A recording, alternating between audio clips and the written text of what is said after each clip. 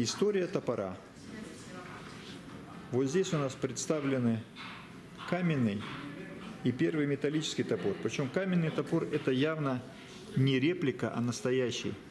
Он такой и был. Это такой вариант заделки топора. И вот это дерево, которое вы видите, оно свалено этим топором. Если не врет автор ролика, оно свалено за 27 минут.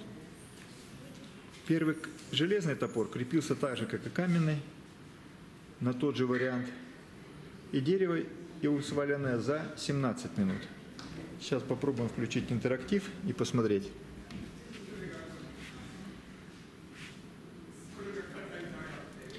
Вот он топор.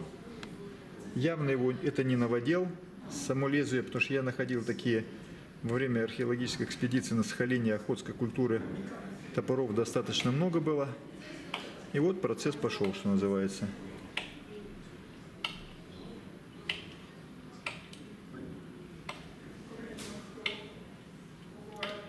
Причем это явно не то дерево, которое здесь представлено. Видимо, это тренировочный был момент. Да, товарищ уже устал махать, но он не, является мастером-рубщиком. Ну вот этот бобер, смотрите, сгрыз это дерево. Так что вполне возможно.